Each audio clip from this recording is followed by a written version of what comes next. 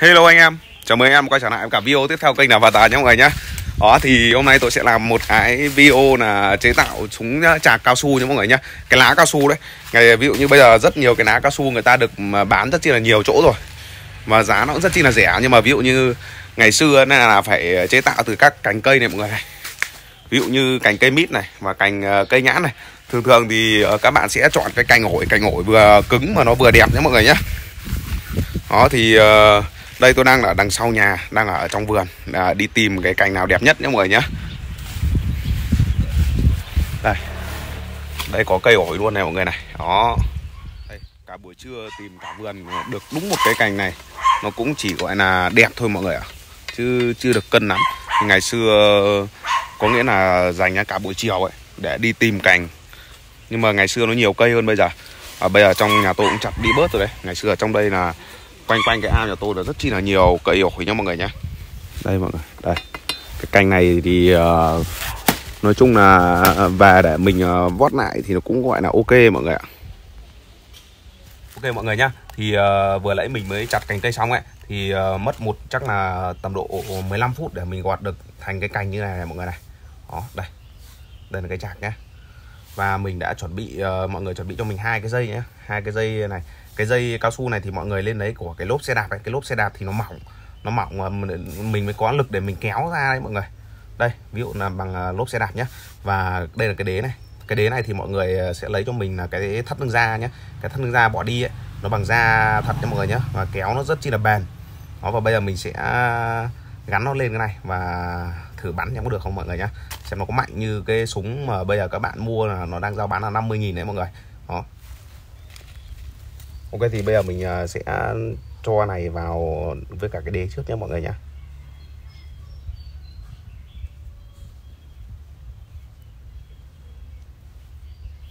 Đây, chúng ta sẽ cho cái à, nỗ này. Đó.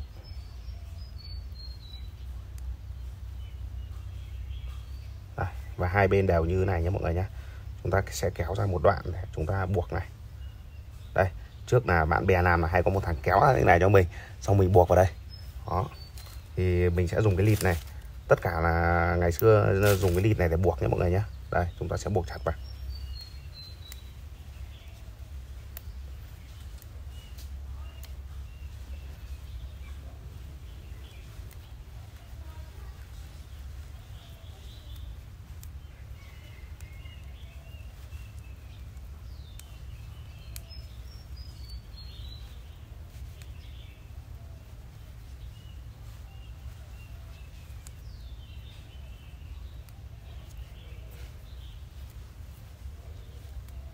Đây mọi người này.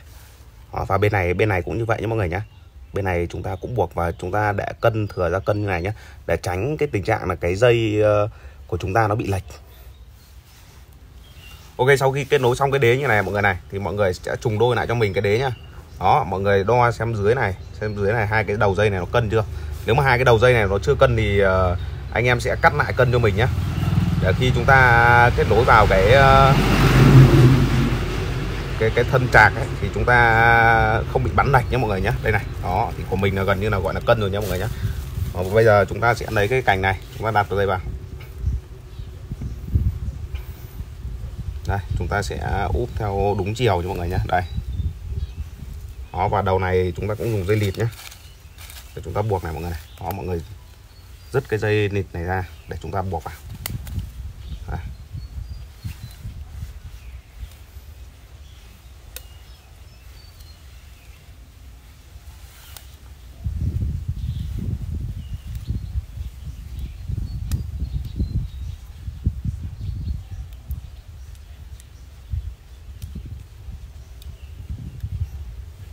Cái trò này ờ, mấy bạn thành phố chắc là không có đâu. Mấy bạn thành phố thì chắc là chỉ có đồ sẵn thôi, chứ không như anh em ở quê như bọn mình. Anh em ở quê bọn mình là tất cả là những cái đồ này toàn phải ờ, tự chế ra, tự làm ra đấy.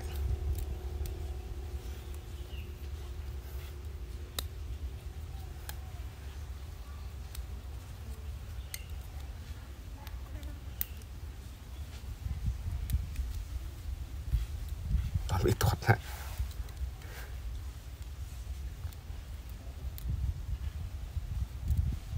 tê chúng ta sẽ cắt phần ờ, thừa này đi nhé mọi người nhé. Chúng ta buộc càng nhiều thì là nó sẽ càng được ờ, chắc mọi ạ. Đây. Đó. Và bên này ờ, chúng ta cũng theo chiều nhé mọi người nhé. Theo chiều. Và chúng ta buộc làm sao cho nó cân như bên này thôi nha mọi người nhé.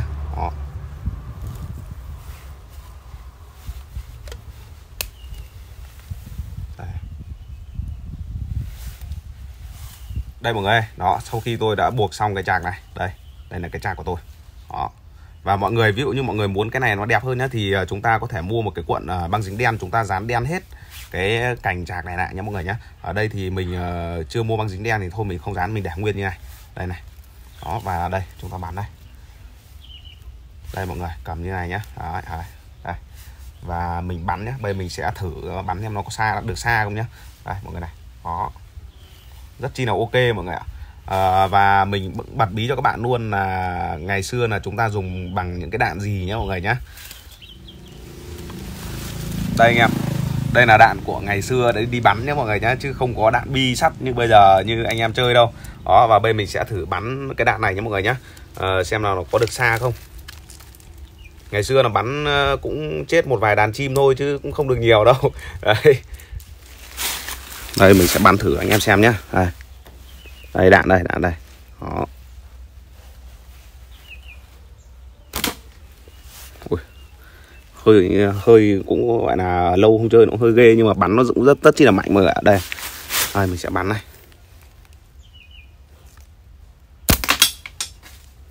anh em thấy không? Mình à, bắn trúng kính này. Đây, tiếp tục này.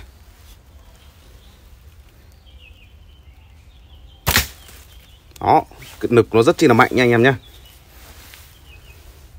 đây, mỗi khi bắn này, mỗi khi bắn cái dây này nó bị cuộn ngược này, anh em nộn này. Đấy, ngày xưa phải bắn này đó, chứ nó không nó không như bây giờ. Bây giờ hệ thống cân bằng nó có hầu như nó có hết rồi. Đây này. Đó, bắn trúng kính nhiều đấy mọi người.